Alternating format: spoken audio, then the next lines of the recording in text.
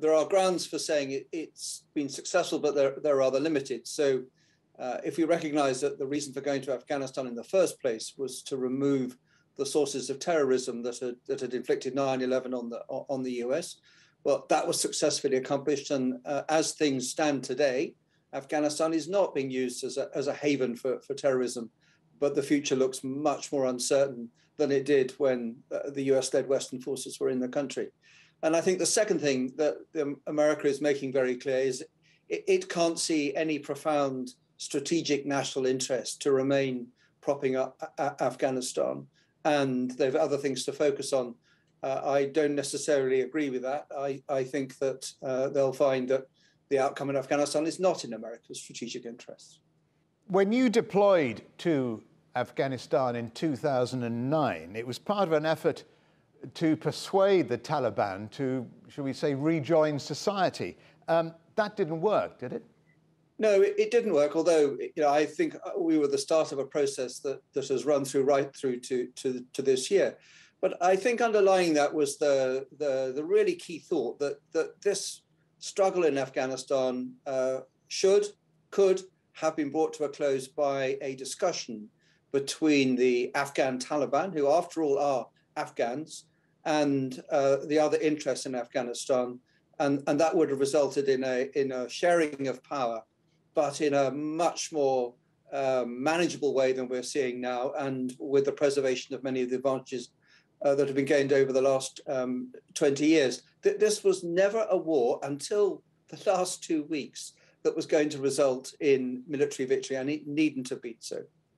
Why do you think the Allies were so keen to leave Afghanistan? Uh, let me rephrase that. Why do you think the US was so keen to pull out of Afghanistan? Was it for domestic political reasons, do you think, or was there some wider plan?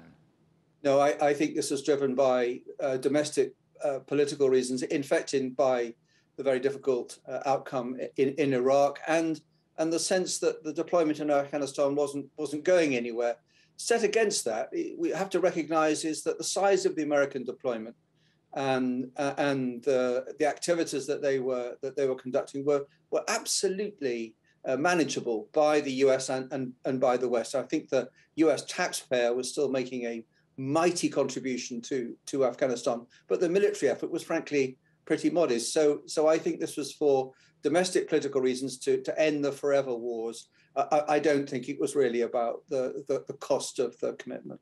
Were you surprised at the speed of the takeover? I think the, the, the truth of it is that the um, Afghan national security forces had the numbers and the capability and the training to hold the line. Uh, but they then saw a number of things happening that completely undermined that. So they immediately asked themselves, well, why would I fight for this district or province when the local people have now swung over to the Taliban. And then they looked over their shoulders and they saw that the American effort that supplied intelligence, air power, logistics, uh, and planning guidance had disappeared. And then they saw their own political and military leaders uh, of very mixed quality uh, evaporating. And in those circumstances, um, they fell away. And it feels very like what we saw in, Iraq, in Mosul in Iraq some years ago. So it was basically the local population uh, in the regions, uh, the districts, thinking, okay, well, the Americans aren't going to be here for a while. We might as well welcome the Taliban. And is that sort of a begrudging welcome, or is there any kind of genuine welcome of the Taliban taking so, over? That's a very good question, and, and I think the answer is, is very complex. There are undoubtedly places in Afghanistan, particularly in the more rural areas, where the population sees the Taliban as a better thing than the government that came from Kabul. The Taliban taxed them less, um, provided order and security in a way that many Afghans uh, recognized, and allowed them to continue to to grow as much poppy as, as they could. And, and you know, poppy is after war the, the major export of uh, of Afghanistan. So there are some Afghans who see this as not a bad thing. They'll there'll be a modus vivendi and it, it'll be okay. There'll be other Afghans that are ambivalent about it. They'll, they'll put their head down and they'll hope just to, to carry on. And loyalty in Afghanistan for, for, for centuries has essentially been a bought commodity. And then, my goodness, there are many, many Afghans, particularly those in the cities, for whom this is a catastrophe. This is casting them back literally to the dark ages. The big fear now in the West, in European capitals and in Washington, is that it will become a base for jihadists. Uh, ISIS and Al Qaeda are quoted, their spokesman, as saying they welcome uh, the return of the Taliban. Uh, would it be a center for terrorism again, do you suspect? So I think the Taliban know to say loudly, clearly, and often that they'll not allow this to happen in Afghanistan. I think the truth is that it may well be beyond the capacity of the Taliban to prevent it everywhere in Afghanistan. And I'm pretty sure there are some elements in the Taliban, which is a which is not a monolithic organization, that will think that you know this will be quite a cool thing that Al Qaeda can come back and they can shake their fists at the West. But the surest way for a Taliban-led Afghanistan uh, to attract um, the sort of attention it doesn't want from the international community, which will include from the US and, and China and many other places, is to allow this to happen.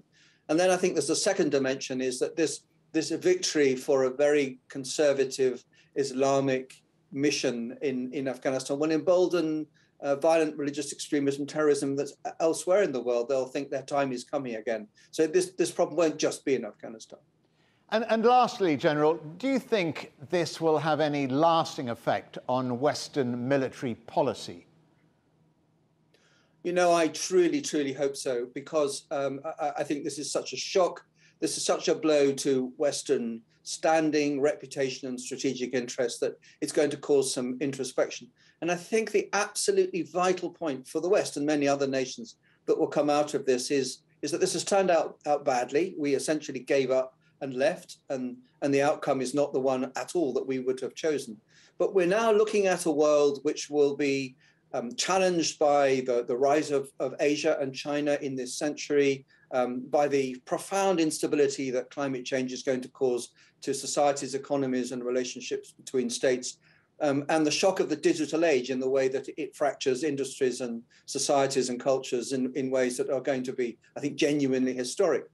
And I think the question for the West is this, this didn't go well. We didn't stand up for our interests but then we'll recognize that our interests, our true strategic interests in Afghanistan were pretty modest.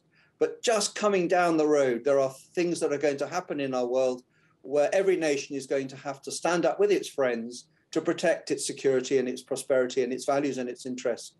And the West is going to have to rediscover the will and the capability uh, to go abroad and do that with it with its partners, or it'll just get pushed around. And, and I think that is the key strategic question that's come out of this debacle. General Sir Richard Barrons, many thanks to you for joining us here on the agenda. Thank you very much.